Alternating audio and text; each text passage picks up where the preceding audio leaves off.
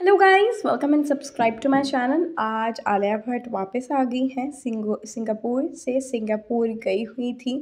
जिगरा फ़िल्म की शूटिंग में जिसकी वजह से जिया अली ख़ान की थर्ड बर्थडे पर भी आलिया भट्ट नहीं शरीक हुई। आलिया भट्ट की बेटी राहा कपूर गई थी। पार्टी को इन्जॉय करने के लिए राहा कपूर अपने बड़े भाई की, जय अली ख़ान की बर्थडे में शामिल हुई। फैंस ने बहुत प्यार दिया, बहुत पसंद किया। आपको बताते चले राहा कपूर की मामी बहुत ज़्यादा बिज़ी हैं अपनी फ़िल्म की शूटिंग में, जिसकी वजह से बिल्कुल भी टाइम नहीं दे पा रही अपनी बेटी राहा कपूर को। अब फाइनली आज मीट करेंगी एक दूजे से बहुत दिनों बाद और राहा कपूर जो है अपने फादर के पास ही थी ज़्यादातर। और अगर आपको वीडियो अच्छी लग रही हो तो चैनल को ज़रूर सब्सक्राइब करके वीडियो को लाइक करें।